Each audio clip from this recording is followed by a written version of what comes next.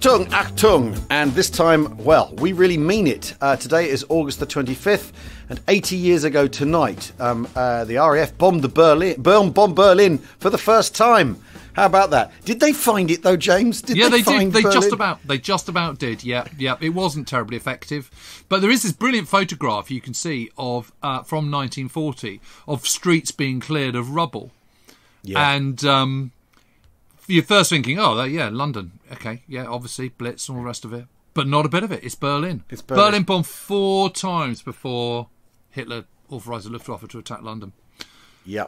So that was Yeah. just the first. So it was the night of the 24th, 25th. And of course, very embarrassing for the very embarrassing for the uh, the Nazi government. yeah, and, um, and everyone had to call Goering Meyer from there on. That's right. Yeah, yeah, yeah, yeah. Um, okay, over the course of the war, the RAF, with a little help from the Soviet Navy and the USAF, pounded the city so badly that 1.7 million people became refugees. Did it help us win the war? I don't know. It's open to debate, but I know a man who, who, who does. James Holland is back from the Reich. His ship docked from Lisbon over the weekend. He lost much of his baggage walking over the snow tipped hills of northern Spain. But, dear listener, he's here. I am, Um, and I'm quarantine free. Browned off and bloody minded. How are you, how are you, Yeah, James? God, that was a hell of a trip from um, Saarbrücken to the Channel Tunnel, and I can tell you, without stopping, you needed long range tanks for that one. How long did it take? Well, uh, it took about four hours twenty minutes. It's 330 miles, but fortunately, particularly that stretch along Verdun. Um, Yeah. was very, very empty. So, with my eagle eye scanning for potential French police cars, I put my foot down and went Put your for foot it. down. Yeah, Okay. I was I as mean- fast as Rommel. When I when I when I say when I say um, you know as long as you don't stop you're all right. The, the the main question that came back to me is how do they know you haven't stopped? Well, okay, so this is the thing, okay, because literally as we were getting close to Hazebrouck, and I was thinking of you at that point, Hmm. Yeah. you know, Daisy in the back was sort of going, "Oh, I really need a pee," and and you know, we thought, go, "Well, we've only got another kind of you know sixty kilometres to go." Um, Yeah. You know, can you hold on? Uh, yeah, okay. You know, it's all getting increasingly tense. Yeah. And I said, well, look, I'm sure you know we could just pull off, go go through the péage, find a little country lane, find a Yeah. find a hedge, job done. Um. But we just kind of felt no, we shouldn't do that because you know we've been told we shouldn't, and we're we're law-abiding citizens, obviously. Oh, So so we went for it, and then we then get to Calais, get to the Channel Tunnel, pass all those sort of Calais Guy and Calais Marck, and I'm thinking, Yeah. yeah, yeah, you know, Second World War Luftwaffe fighter airfields, obviously. Um, a- and you get to the Channel Tunnel, you go through French customs, that's all fine. Then you go through British customs, and it's like, are we allowed to get out and have a pee now? I'm like, yeah, no problem at all. And they said, where have you come oh. from? And I went, Saarbrücken. We did it without stopping. We didn't get out once. We didn't even go to a garage. We didn't have a pee. And I went, great. Good for you. Oh, God. Oh, And that was it. No one's oh, checked on us. me. You know, Well, you know. you know, what can you do? So presumably, What- what if you you if you want to go for a pee and you want to get out and all the rest of it, you, you know, then you you might as well. Oh, well. well, now then, time for some news, ladies and gentlemen. Firstly, thank you to the 502nd Independent Company members. Uh, oh, sorry, I read that like they were like they were a parachute regiment from the. uh, firstly, Well, thank you to in the many 500. Well, in many ways. ways. Thank you to the 502 independent company members who bought James's new book from us. Yeah, thank We'll you. both be signing them. Yeah, it's amazing. We'll both be signing them as soon as they arrive from the printers and we'll post them first class the same day. That's incredibly exciting. Yeah. And while we're on books, 162 of you bought our August recommendations through the discount deal with Waterstones. We hope you enjoyed them. We've got three more recommendations ready for September. They're not available on discount until the 1st of September. But just to warn you, to tee you up, for you to create space on that bookshelf behind you, they will be the paperback of James's Normandy 44, which is out in a week's time. You've probably read it, but just in case. So Is a 1st little bit of different September. from the hardback. A little bit different from the hardback. Yes, a little bit diff- from the hard. the odd tweak here and there. Um, the Allies still win though. Um, uh, he hasn't changed do. the ending. They certainly do. It's not like a director's cut with a different ending. No. Um, uh, the Ship by C.S. Forester. If you enjoyed The Good Shepherd or the recent Tom, Tom Hanks Mm. Love film Greyhound, book. Which was based on the book Don't Miss the Ship. It's set in the Med as a convoy tries to get through to Malta, and it's a cracking read. And our third choice will be Dan Todman's Britain's War into Battle, this first book which deals with uh, 1937 to 1941. And uh, Dan was a guest on the live stream on Thursday night. Um, he was he was great, and what was really lovely is all the people saying, "I've got to watch this again so I can keep up or take it all in." I was getting a lot of that on Twitter. I need to watch this again because it's this this my, there was just so much in it. I mean, I I I, I did love how um wide ranging it was. I absolutely loved though. Um, the thing that, that's really stuck in my mind is uh, when I said, "Well, you know, uh, did the British establishment have anyone else that could have done Churchill?" Oh, yeah, and just like? "Yeah." and he just went, "Yeah, tons." He said, "Yeah, tons." I'm not sure about that. Like it, like it was the most stupid question imaginable. And, yeah, and I'm not sure I agree with Dan on that. Well, I thought. Well, I just, I just, Like who? you know, it is really refreshing to hear someone say because because otherwise, otherwise the the the. Otherwise, it really is, but for one man. And in fact, the point you make an awful lot is it's the the, the entire system is geared to winning Yeah. this kind of thing. Yes. And and is I don't is- think it would have made any, any difference to the outcome of the war, but I think you know what you, I just I do think in that summer of 1940 when when he wins that battle of the war cabinet and then he does wins the over politi- the wider the cabinet, I, think- I think he, he, work, he yeah. is the glue that kind of brings it all Yeah. together and, and Yeah. provides vision. I, I just think vision is so important in these scenarios. Yeah. And, yeah. um, but it's just I just loved it. He went, yeah, tons, I know, amazing, amazing. and you're like, oh, well, I still okay. don't know quite who, but. But then you know Truman did quite. You know Truman. I, I don't think there's many critics of Truman, are there? When he took over No. Well, well, but the, the point he was also making is that when, when people poo poo Eden, it's because of Suez. Yes. And if you you know he hasn't done that yet, you know, uh, Yeah, you, yeah. you can you, if you can extract that from your view of him, um, uh, which is after all what you're meant to do as a historian is is is go back to then rather than via. Yeah. Um, uh, the other things they did later in their life, as it were. I mean, it's it's. Uh, I, I I mean, I absolutely loved it, and um, Anthony, uh, of course, you know- Short Valley man. Yeah, yeah, yeah. Buried yeah there's the something, but, th- but there is something fantastic though about having um, someone who's an academic like that on, um, who who you could say, well, tell me about this, and he and he, you can see him sort of, you can see him.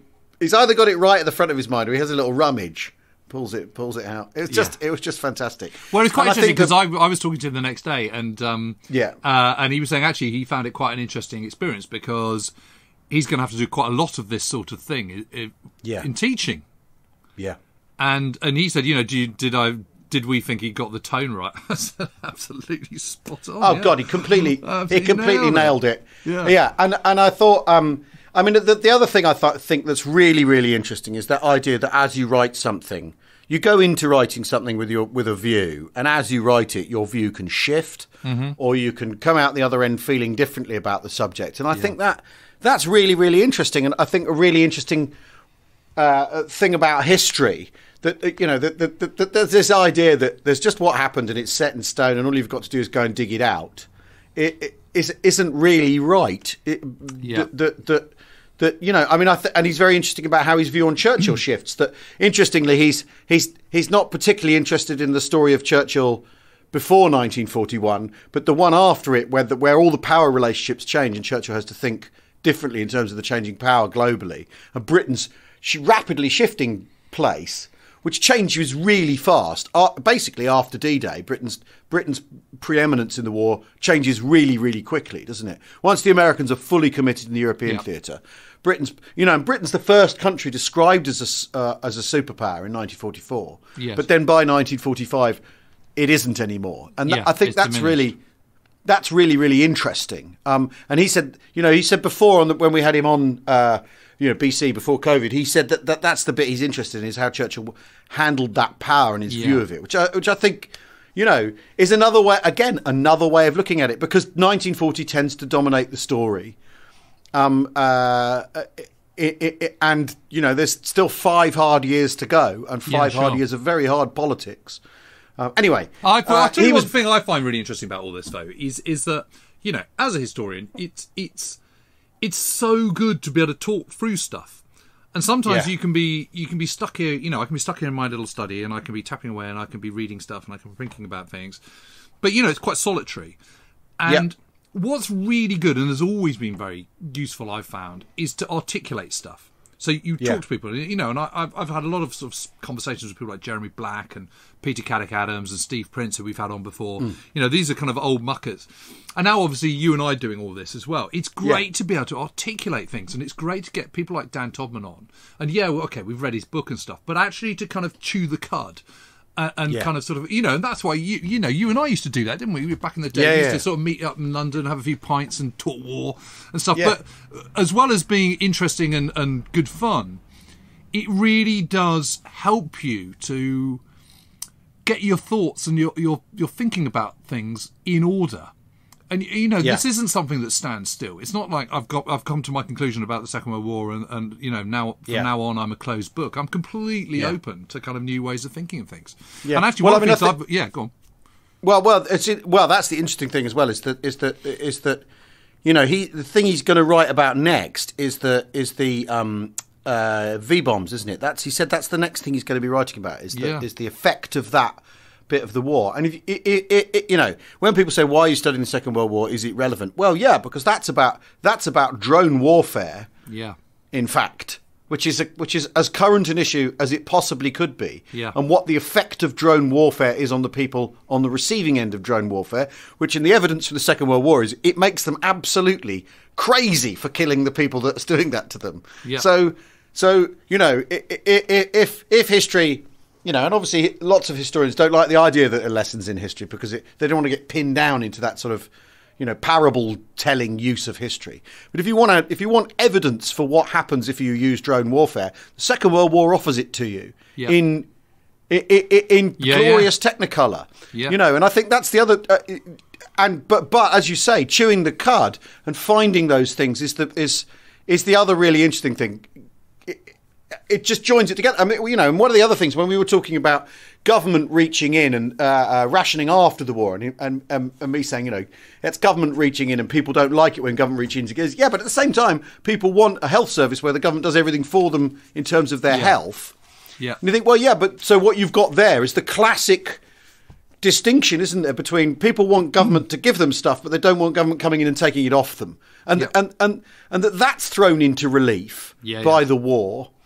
I mean, it's just it, it- like you say, it's just so it's just so interesting to talk about it. And reading the reading the books is great, but also to have someone of you know that caliber, and he's he's become part of the public debate with that book as well about Yeah, hasn't he? Second World War stuff. Yeah, which is really yeah. cool. Well, I think it's great that we're, and I think it's great that that, that things are shifting. That kind of narrative, Yeah. that that sort of, you know, the kind of declinist t- kind of take on the Second World War, which has had such a firm grip for such a long long period Yeah. of time. You know, the other thing I've, I've been, you know, I've been doing quite a lot of work, work last week or so on on on the Navy and how they they set up at the beginning of the war. And it's just so interesting because I just think the Na- Royal Navy is just completely taken for granted in the Second World War. You know, the, Yeah. all the debates about Britain's performance in the Second World War nearly all relates to two things: should should they have been doing strategic bombing, and the quality of the army, and whether they had Yeah. good tanks or crap tanks, and all the rest of it. And and I think that that you know the British Army is certainly sort of comparable with the other major competent armies. yeah, Um, yeah. but the Navy is really, really good. Really good. It's, it's exceptional. You know, we were talking the other day, weren't we, about that one shot from HMS Ajax on the, on Yeah, the yeah. guns at Longues-sur-Mer, and uh, you know, but from gunnery to seamanship and all the rest of it. So I've, I've been looking into all this, and and you know, if in the interwar years, if you were an officer, you would Hmm. have basically done six to seven years of training before you become an officer. I mean, I, I Really? literally cannot think of a single service anywhere in the world that is quite so rigorous because you, you, you would go off to Dartmouth at 11. Yeah, yeah. Well, so so okay, so um, how much training as an infantry officer, an infantry subaltern had, an army su- subaltern had? That's six months. Right. Okay. So for, for direct comparison, and then the air force is similar, right? It's like nine months. right. Did you get to so, OTU? Right. So But- but- years. Yes. Okay. So so you could, and then you can have. There's a a, a, a thing called a um, uh, what's it called? A select entry. Okay, this is something Yeah. they introduce in the so you can be a, you can you can get a regular commission without having gone to Dartmouth first, which is basically Yeah. a public school, but Yeah, yeah, yeah, you yeah. start at eleven, not thirteen. Uh, and you go through to 17 and at 17 18 you'd become a, a, a midshipman. But all through that time you do you do your classics and your maths and french and english and all the rest of it but you'd also do vast amounts of training and vast amounts Yeah. of stuff on ships and stuff and discipline and blah blah blah. Yeah. and entry into dartmouth was absolutely not a given at all. You know it was a lot of people were kind of rejected Yeah. So so entrance to Dartmouth College is in Naval College is quite is quite hard. then you have your kind of you know from midshipman you're on ship you're doing practical training which is very like the kind of sort of Jan, uh, Fahnenjunker that system that they had in in German officers where you sort of have to go and kind of earn your stripes before you properly you know you have Yeah. to do experience first in, in the front before you kind of become get properly commissioned and even if you're if you're a, um, a select entry you'd still do 18 months of training beforehand and then they they set up this thing called the um, uh, the Royal Naval Volunteers Re- uh, Re- Reserve, um, Yep. uh, and they have have a sort of another version of that, um, which is the Royal Naval Volunteer Supplementary Reserve. And those are the yachtsmen. Those are guys who've already got yachting stuff, and you're encouraged to do that. You, you don't get paid for that; that is entirely voluntary. And you're also encouraged to do extra kind of coastal skippering exams and all the rest of it, Yeah. which are pretty rigorous. Now, And so- this must this must be because ships are expensive, and rifles and artillery pieces relatively are cheap. That that that it, it- you know the British state is spending an awful lot of money on the navy. Yes. and and has done throughout and throughout even the even the times where it's not spending a great deal of money on defence.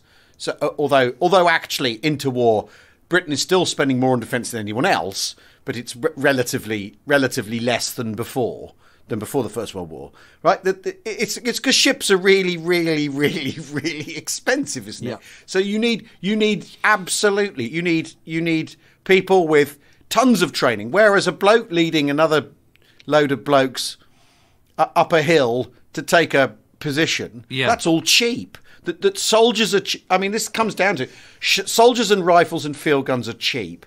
A battleship is really, really, Really bloody expensive. expensive. Well, I'd never thought of it like that, but I think you're probably right. But I think it's also because it's the senior service and because, you know, excellence and, and excellence of standard is just kind of part and parcel of, of what, you know, that is what the Royal Navy does.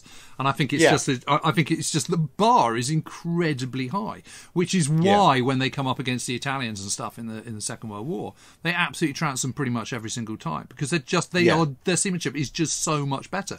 And it's kind of to a certain extent the same same with the Germans as well, with the Kriegsmarine. You know, that's why they're able to Yeah. sink kind of, you know, six destroyers in uh, Narvik, just like Yeah. that. But I mean, you know, what's really interesting though is, is that the regular force, excluding Royal Marines, is 9,762 officers and 109,170 men in January 1939. Obviously, it kind of expands a bit over the over the over the summer of 1939, but that's not, you know, that's like 110,000 strong in total Yeah. in the whole navy. You know, Yeah. the senior service. So, and do what, what is also go on. To do global force projection all over the world, it's only 120,000 people. Yes, but but that just goes to show, doesn't it, what what um, a force multiplier it is in terms of Yeah, kind yeah. Of, of, of military prowess and, and force, and what a practical way of de- dealing with it. Because okay, so your battleships cost an absolute shitload, but but but but actually. The number of men you need for it. What is also really interesting is that uh, at the start, in summer of 1939 and early part of the war, no one wanted to join the army for, for obvious reasons because of the kind of legacy of the First World War and stuff. Everyone wanted Yeah. to join the kind of RAF, and the RAF ab- advertising campaign was just completely stupendously good. Um, Yeah. uh, but by 1943, um, uh, volunteers, uh, people who are applying for the Navy, is outstripping the RAF by two to one, and by 1944, it's three to one Wow. Yeah. I wonder why. because it's seen, it's perceived, it's perceived as the number one service to be in, the one with the greatest credibility. No one wants to die being a bomber over over No. Stuttgart. Uh, and it's seen as glamorous. And and the other thing that I, you know, because I was always saying, well, I think that's probably one of the safest things to be, but but you know, I, I've I've been sort of looking at this book by Brian Lavery, and, and he points out that actually, um, the navy is in, in many ways the most dangerous because you know four four uh, four out of five people in uniform aren't ever seeing any action whatsoever in the Second World Yeah. War in the British in the British Armed Forces. You know, most Yeah. most people are kind of spending from 1940 to 1944 in England training in Yeah. the army, Yeah. not doing anything. Vast majority of people in the RAF aren't, aren't seeing any action because they're aircraftsmen, they're kind of you know Yeah. fitters and riggers and bomb loaders and all that kind of stuff and Yeah. admin stuff. You know, it's, it's very it's a ve- you know it is it's I think it's for every seven seven men in a Lancaster, there's 48 on the ground. Yeah. You know, um, and, and it's only the Navy that go off to war and they're at war literally the whole time. Incredible. Yeah, isn't it? It's just, and it's just Well- again, it's just one of those things that I've just, I've suddenly, it's just like completely opening my eyes to. But it must be, it must be because shit. I, I'm I, I'm really chur- churning this in my head now. This idea of why you why you spend uh, basically a decade getting someone together as an officer for the navy, and it must be because ships are really really bloody Yeah. expensive. And if you gave if you gave a if, you know if you put a bloke who'd had six months training in charge of potentially in charge of a of a frigate or a cruiser or a destroyer, he's not going to be. He's just not going to be up to it and that you need you need people who've gone all the way through the whole thing because because obviously navigation and stuff like that and how a ship handles has to be completely second nature just a Yeah. just a reflex Yeah. to these people rather than oh I've got to get out got to get out my map. Because because often in the army it's somewhat you know you some people are really great at map reading and and everyone knows it and other people you don't give them a map whatever the circumstances. And you're not going to get that in the navy if people have been have been through so much training and, Yeah. and uh, uh, uh, God, how interesting that is incredibly yeah interesting. yeah it really is. And and and you know and I've, I'm talking about officers but the ratings training is also really really good. I mean yeah. second to none really yeah yeah we're going to take a short break now um, we'll be back in a second with more of this kind of stuff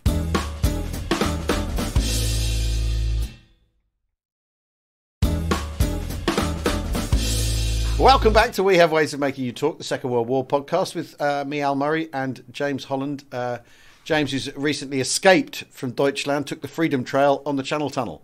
Um, uh, easier than it used to be. He didn't have to trek over the Pyrenees um, with, the, with the Gestapo hot on his heels. Um, uh, oh, that, that, uh, the thing you said earlier on about the, the, the two things when people talk about the Second World War and, and the UK's performance is, is the area bombing, does it work? What was the other one? Oh just about the army sort of being a bit rubbish Yeah, yeah, sort yeah. of, you know, well, yeah, but you know what? But you know and the rest of what? But you know why area bombing is the thing that people have got hung up on. It's because it's a cold war. That's a Cold War interpretation of the Second World War. Yeah. Because after all, the threat in the Cold War was lots and lots of area bombing, basically. Yeah. So the so the debate has to go back again and again and again to does that work? Is it worth it? In order to say that nuclear deterrence doesn't work, which is also why I think people toss in that idea that the Americans used the atom bomb in the, in 45 to deter the Russians. Didn't work. See, doesn't work, and all that sort of stuff.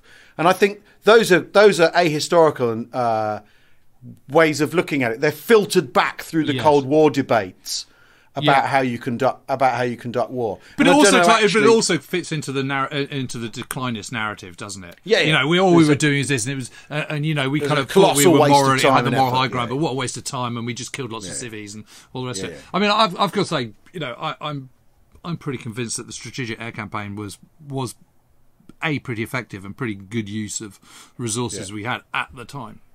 Yeah, yeah. Right, okay. Now, um, a reminder to our listeners that Ross Carter's book about his time with the US Airborne is available for free on the Independent Company site on our Patreon. Those Devils in Baggy Pants is beautifully read by the American actor and great friend of the podcast, Chaz Mina. Right, now, it's been a while since we got in stuck into some of your emails at um, there on the We Have Ways podcast at Gmail if you want to get in touch if you're elderly. Okay, from Lewis Mitchell. um, Lewis says, Hello, Alan James.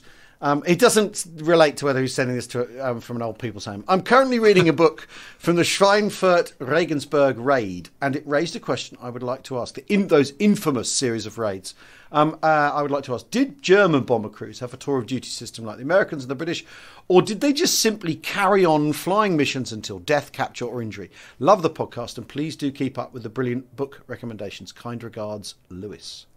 Well, I suspect he's reading his Martin Middlebrook. I'd have thought Yeah, I expect so. That's the classic. the classic. Uh, the, the- all those, all the, all of his um, uh, bomber campaign uh, accounts are they're well worth a read. Although when I went to when I went to Hamburg recently, I got the dug the Hamburg book out, and um, uh, he kind of says, "Oh, Hamburg was Hamburg didn't really like the Nazis. They were kind of weren't into it, and the and the Gauleiter, although he was a loyal Nazi, wasn't. Really, he sort of think this this got a tang of the '80s where people are trying to go, it's all right." Don't, don't worry. have about you it. have The you read Keith Lowe's book on on Hamburg? No, no. Oh, that's really good. He's really actually he's someone we should get on. Yeah, we should. He's really good. He's really, really interesting on the kind of all the post-war stuff, and also the legacy of the Second World War and how we Yeah. view it and everything. Really, really interesting. Yeah, that he. God, we should definitely get him on. He, he would. Okay. He'd, he'd stir it up a little bit, I reckon. Okay, Anyway. okay. But um, Go on. To, to go back to Lewis's question. Um, Yes. Uh, uh, no, they didn't. It's really, really interesting. Um, you know, so so take my my Nazi friend Hajo Herrmann for example. So he's flown Yeah. in Spain. Uh, he then Yeah. flies in Poland. Um, he Yeah. then flies against Norway. He then is involved in the Blitzkrieg. Um, he's then involved in the Battle of Britain, and he keeps going. And by middle of October 1940, he's already on his 99th bomber mission of the war. So that doesn't include what he's done in Spain. And and I think it's something like the 14th of October 1940, something like that. Middle of October. Bloody hell. He they- is taking off from from Schiphol, um, outside Amsterdam, and RF come over and attack the airfield. A bomb, uh, you know, a splinter from an exploding British bomb, um, Yeah. sh- uh, shreds one of his his his undercarriage tires. He slews off, crashes, con- you know, knocks out, knocks himself out. Wakes up Yeah. two days later uh, in his hospital bed, and uh, on his bedside table is is his knight's cross, and he looks at it and goes, "What's this?" And he goes, "Don't you remember three days ago, um, Goering himself presented it to you, and he burst into tears. And he is the toughest man ever. He's com- absolutely just Yeah. completely spent. And you see this. So what what the Luftwaffe do is they just they do give people leave." But it's but it's not. There's nothing regular about it. So, so suddenly yes, it's all, just ar- go, it's all arbitrary, isn't it's it? arbitrary. It- so it- sometimes it's like, okay, well the weather looks bad this weekend, so you can have you can have two days off in Lille or whatever, or Yeah. you know, um, uh, or yeah, I think it's time you had a little bit of time out, so go go home for a couple of weeks or whatever. But it's Yeah. all, as you say, it's completely arbitrary, and, and one of the reasons why the Luftwaffe is in such stuck by the end of 1943, beginning of 1944, is because they have all their best pilots have been killed through or, or, or starting to get really badly treated through overflying. And one of the things Yeah. that I thought was so interesting about the Macky Steinhoff diary that he kept over Sicily in that Yeah. period of in, in, in May, June, July 1943 is you can see that they're all absolutely just totally spent. They're Yeah. completely spent. They they all need leave. They all need to just go off and recharge, and they're, and they're just not given that opportunity.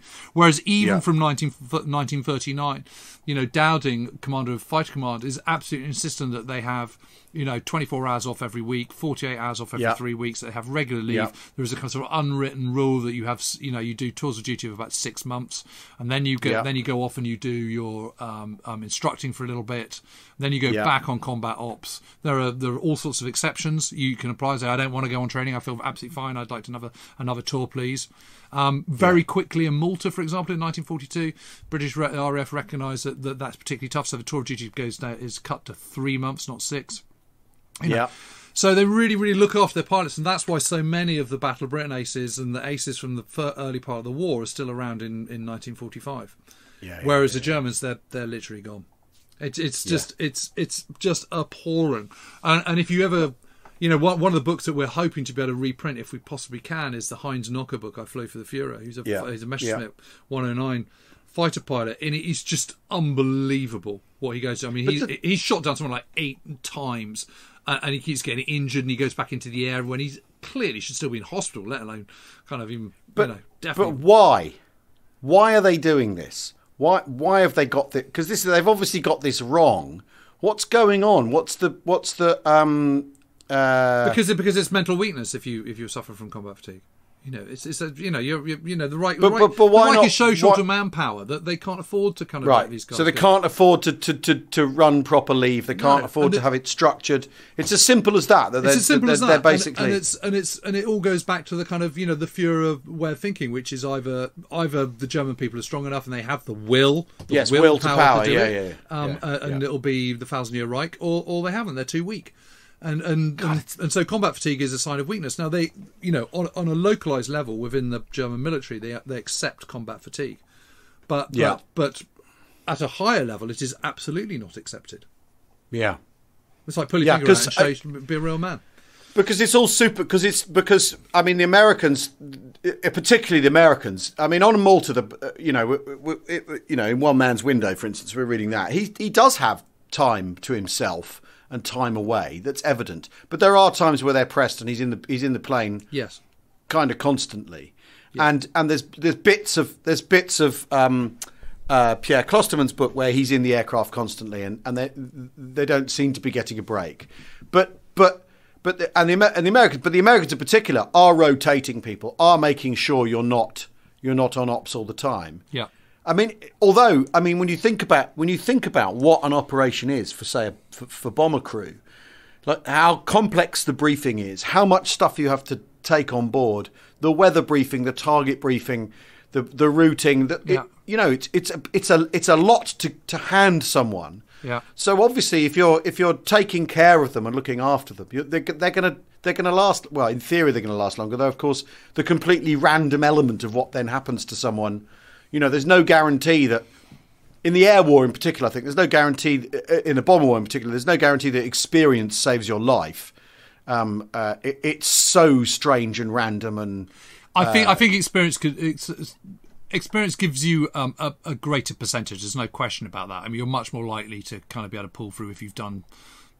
Yeah. you- but you've got you've got plenty of crews who are shot down on their last tour. On Of course, last, yeah, yeah, you know, sortie, you can't get rid of the random nature of it, of the violence. Yeah. But but there are certain things you can do through experience that you know that sixth sense, all the rest of it. You, Yeah. you you're that much more familiar with your Lancaster or Halifax or whatever it is, so you know how to deal with with with um, difficult situations better, etc., etc. So there are things you can do to kind of sort of mitigate against it. But but you're right. There's a there's certainly a no massive guarantee. random element. To it. No Yeah, guarantee at all. No, absolutely not. But I mean, you know, let's take for example Hans Joachim Marseille. He was arguably the greatest pilot that's ever been. You know, he shoots down 172 pilots. They're all British, nearly all British fighter planes as well. Every single one. You know, Yeah. compared to the kind of 352 of Bubi Hartmann. You know, which is all scored pretty much on the Eastern Front. Um, Marseille's done all done on the Western Front, and you know, it is absolutely clear. In the summer of 1942, he is having a colossal mental breakdown. It's Yeah. absolutely clear his behaviour, what he says, the way he's what he's doing. He's going clearly just completely doolally, and yet he keeps flying. He keeps flying, and eventually Yeah. he's, he's given a kind of sort of you know enemy 109G, and the engine catches fire. He bails out, hits the back of it, breaks his neck, yeah, and he's uh, you know he's he's brown bread. it's done. But you know, with with with, with someone like Hans Marseille, it's it's you know he'd have okay. So it's just a, an engine failure that that does for him in the end, and, and kind of a bad bailing out. But he would have almost certainly been killed anyway. You know, he, he's absolutely bunkered by the end. I mean, really Yeah. in in trouble. And you see this time and time and time and time again. These guys are utterly, utterly spent, and the situation has made, been made worse by the fact that that that Hitler is blaming the Luftwaffe for a lot of the ills of of you know the turn Yeah. and fortunes, and Goering is in turn blaming his pilots rather than Yeah. going. this is a war that's lost, and we need to get out of it. Yeah, and yeah, yeah, we can't win. Yeah, yeah, you yeah, know. No, obviously. Okay, now Stuart Galbraith asks, "Hi fellas," or says, "Hi fellas, loving the podcast." And yes, before you say anything, I'm 47 and an old fart, so I'm officially allowed to use email. Well, speak for yourself. I'm 50, and I don't consider myself an old fart yet. I'm, I'm 52 and I'm on the cusp. How many um, Bomber Command airmen died in training, either in the UK or in Canada? I'm guessing that it's not included in official totals of all those killed in operations in Bomber Command. All the best and keep up the good work. I think it is. Well, I think I the mean- 55,000, I think that does include. That does include training deaths. I think so. Yeah, I mean it. it it's plenty though. Yeah. Um, uh, air accidents. Uh, uh, It does include training because at that point you're on training command, doesn't it? You know, bomber command deaths Yeah. are, are when you're flying, but but lots of people Yeah. are. Yeah, no, he says tried in training, doesn't he? Does say specifically training? Yeah, it's a lot. It's a lot. It's an awful lot. Um, because because after all, these planes are dangerous, Yeah, aren't they? I wouldn't be I mean, surprised the- if it's sort of 10, 15 percent. Yeah, yeah. I mean, we're not, you know, we're, we're not talking. Uh, there's no air accident authority or anything that any of that sort of thing. It's not commercial travel, so they've got to be careful of the passengers. Is it? They, they, it, I mean, although bomber training was extensive and you got lots and lots of hours and worked your way up through the types, didn't you? Yeah. And, uh, uh, you did. It wasn't like when you set off. Uh, um, uh, Hamburg or Lubeck or somewhere, that, Hamburg or Lubeck or somewhere that you you it was your basically your first go, was it? You you, Hmm. you knew your way around the aircraft. But yeah, an awful lot of people die in training. Um, I mean, I'm don't thinking know. about. I'm, I I can't think of a single memoir I've read or interview I've done with a veteran who hasn't commented on the fact that someone during their training killed was killed. Yeah, yeah, Went into a hill in Wales, collided, Yeah. took off, landed Yeah. badly, got Yeah. lost right Yeah, yeah. of whatever. Yeah. Engines car- carked out. That that yeah, whatever. Yeah, and and plenty and plenty in Canada as well. Yeah. I mean, it is it? I mean, you know, but here we are comparing comparing uh, the, these questions. Kind of are sympathetic to each other. You know, the Germans don't have somewhere like Canada to go off and train in and No. get their guy get their guys uh, act together. They don't have they don't have any of this sort of stuff at their disposal. Um, sending, I mean, pilots basically go they go away for a year essentially, don't they, to Canada to learn how. Yeah, to, it's sort of nine months or so, and then you add Yeah. on OTUs and or heavy conversion Yeah. units and all that kind of stuff. I mean, it is really interesting. You know, certainly by by 1943, middle of 1943, you know, frontline um, pilots, certainly fight, fighter pilots, they're they're arriving at their frontline squadrons with about 350 hours in their logbook, whereas a German one's Yeah. probably lucky if he's got 100. God. Yeah, it's a Right, total mismatch. Okay. Um, Mark, Mark Roberts says, Hi, uh, Al and James. Loving the podcast and being a member of the independent company. Uh, a Battle of Britain question for you. Was there a directive across all of Fighter Command for the Hurricanes to attack the bombers and the Spitfires to attack the fighters, or was this decided locally between squadrons? As it was dependent on what squadrons turned up in any particular area and what they faced, did it work? Uh, yeah, so this is all about rate of climb. Um, so the Hurricane's rate of climb is is much, much, much slower than that of a Spitfire. And the point with air-to-air combat is you want to get above your enemy so that you can maneuver yourself around the sky, so you have the sun behind you. So when you attack, you can attack at an angle of your choosing, um, and with the element of surprise and speed, and with your enemy blinded. That's Yeah, yeah. that's the whole point. So the problem is, is that the the single engine fighters tend to kind of um, operate above the bombers they're protecting for the same precisely the same reasons. So you want Yeah. your own fighters to be above their fighters. Yeah, yeah. So Yeah. the only plane that can do that is the Spitfire because it can climb much faster than a Hurricane. So it makes Yeah. perfect sense for the Hurricane to attack the bombers and for the Spitfires to be given the role of, of attacking fighters. So yes, that is absolutely accepted and agreed at that higher level of command. However, obviously there are moments, particularly in the early part of the battle in, in, in July and into the first part of you know in, into the main bit of um, uh, August before the, um, the the attacks turn on London and stuff on the seventh of September 1940 that um, there's lot you know the Luftwaffe attacking with lots and lots of different formations all over the place hitting the airfields Yeah. and so therefore it is much more localized so that you might well have have um, hurricanes going after after fighter planes and so on. And what you might do is you might send a squadron up and one flight might be heading up to to intercept the fighter planes um, and another flight attacking the bombers or something like that. So so that is done on a mu- th- th- those decisions are made on a much more sort of local localized level. Well, yeah, but those those attacks uh, b- before the fifth of September are more sort of piecemeal, aren't they? Anyway, so yes exactly that. So Yeah. so so, so um, uh, it- actually actually figuring out who's going where and what they are is more difficult. It's when it turns into fleets of fleets of bombers with top cover yeah that that it, it's easier to it's easier to make those make those distinctions and vector people accordingly. I mean, the other point that I think is is also worth making is that a, a, as the summer progresses, they get better at it yeah that it's all it's all brand new to everybody in um uh, or, or, or I'm talking about fighter command here the, the, the, the, and the systems that work with it is that, that, that it's all experimental in June July Yeah. how you actually deal with aircraft arriving across the channel and by August it's it's a thing that's in practice and sort of by by um, September it's a technique and and, Absolutely.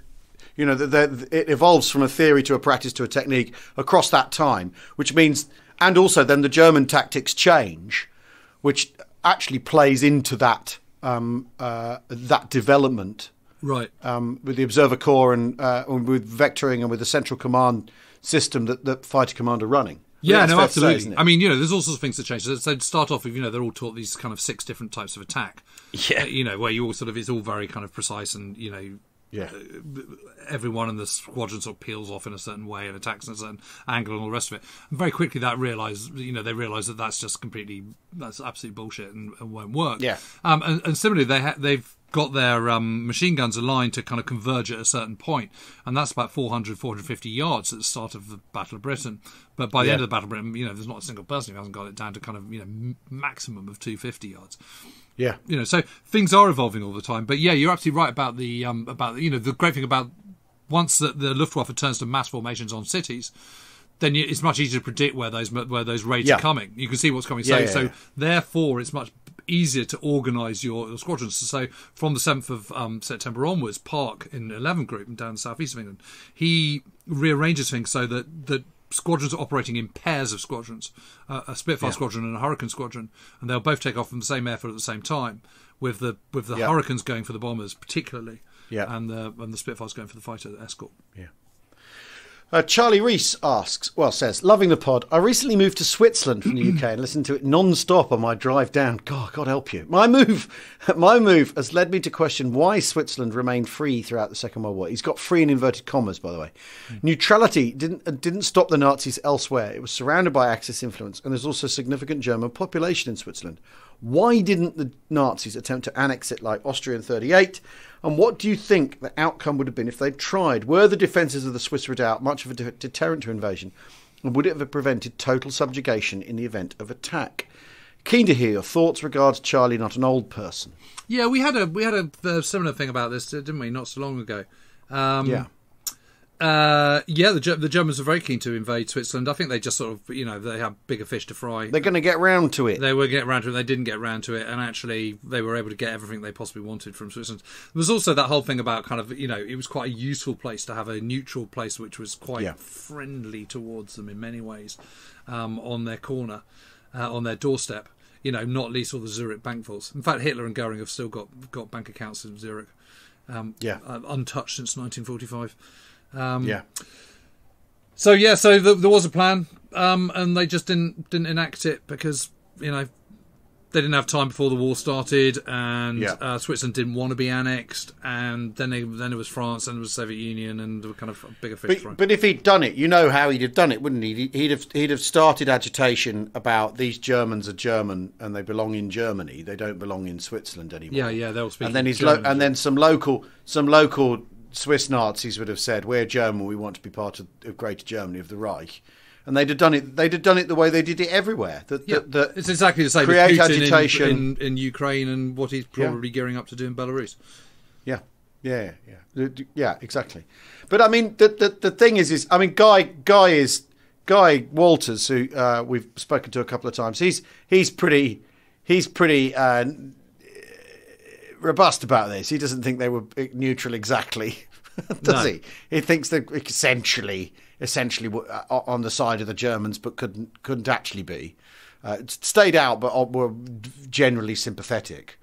Yes, and That- certainly if you were allied and, and you you ended up there, you know, if you were a bomber crew or something and you bailed out of there, Yeah. you'd spend the rest of the time, rest of the war in a in a prison. Yeah, in a prison. Yeah. Um, okay, uh, one more. I think this is from Yeah. Scott Pendry. Hi lads, loving the podcast. A great mix of content, and I always take away a few nuggets of really interesting um, info after each episode. Well, that's that's what we're going for. So thank you.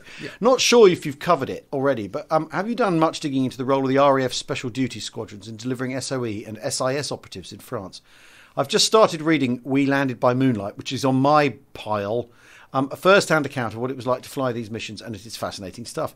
These boys took their Lysander into some very small and unprepared strips to drop off and recover agents, and I'm amazed there hasn't been more written on it. The Sebastian Sebastian Faulks' classic novel Charlotte Gray talks about these missions, but again, I'm surprised more books, movies haven't been made. These flights would make an epic movie. Well, I mean, it, it's an extraordinary story, and um, uh, the the, the you, you, I mean, the thing is, the thing is, is you, you, you can be pretty ambivalent about this stuff. How much it actually achieved is the truth. So, how much attention you then give it, I think, uh, um, can can feed into into that. I mean, it's it's incredibly glamorous. There's no there's no doubt about that. That's Yeah. I mean, that's why that's why it's surprising there aren't more films about about this sort of thing. It's incredibly glamorous. The idea of landing an aeroplane, dropping someone off, picking someone up. It's it's sort of it's uh, a, a, a, a fascinating. But but I I mean I don't really know anything about it at all. Like I say, because I've not read the, I've not read the book that you've just started, Scott. It's sat in my pile. It's on my um, heap of things I need to finish. Well, start. they had the, they had these um they had these these special duty squadrons, didn't they? Um, yeah. uh, one three eight. I can't remember. There was another one. One. Can't remember what the second one was in in the UK. Yeah. Detached Bomber Command. Then there was uh, one four eight in the Mediterranean. Um, and they were, you know, these were the ones that were doing doing this stuff, and and it was a mixture. So you would have Lysanders for actually landing, but you'd also have Yeah. Halifaxes and things, and Um, Lots for- of Halifaxes and yeah, for Stirlings dropping dropping all the all the containers and and all the rest of it. I mean, what is really interesting about it, I remember I did do this work on the um, looked into it in great detail about about what the um, what the SOE was saying they were delivering to the Italian partisans at the end of the war, and what they were Yeah. actually delivering to the partisans at the end of the war was quite different. Um, Yeah, so, yeah, So yeah, you know, yeah, yeah. because you can look on the ORBs, which is the operational record books, which is effectively the squadron diaries, and there it all Yeah. is, and it says, says exactly what they're sending, um, and exactly how many drops they're making, and how many containers are being dropped, and all the rest of it. And, and Yeah. it is, is surprisingly little compared to what is being claimed they're sending. Um, But yeah, no, I mean, it, it is absolutely fascinating and required sort of you know nuts of steel to do it. Although actually, I think for the most part, um, you know, if you're dropping a Lysander, you know, they're they're in a field that's that's that's chosen specifically because it's quite remote. You know, the Germans can't be anywhere. They've only got like two hundred thousand troops in the whole of France, for example. Um, most of them are in towns. Um, you know, there's very few German troops of wandering around the Maquis in the middle of the Yeah. night. So it is. white- It's, it's actually in a funny sort of way. It's sort of. It's probably easier to do than you might imagine. The White Rabbit is uh, uh, there's lots of that in uh, this in that account, isn't it? The Yeah, absolutely book, is. isn't Yeah. yeah, yeah, yeah, yeah. There is. The the, the very the, the the the Hugh Verity one is is good though. Yeah. Well, thanks for joining us, everyone. Um, Yeah. We'll be back with our usual double bill on Thursday, pod in the morning, live stream in the evening, uh, special live stream. And uh, in between making this pod and Thursday, we are going off to um, have a, a day. Uh, well, I won't tell you about it, but you're going to hear all about it. You're gonna feel quite green, Ah, that you're going to feel quite jealous. Um, obviously, it will be a socially distanced day playing with tanks. Anyway, um, thank you for joining us. Yeah. Um, so we'll see you on Thursday for the live stream on Thursday evening. Uh, cheerio und auf Wiedersehen. Yeah. Cheerio.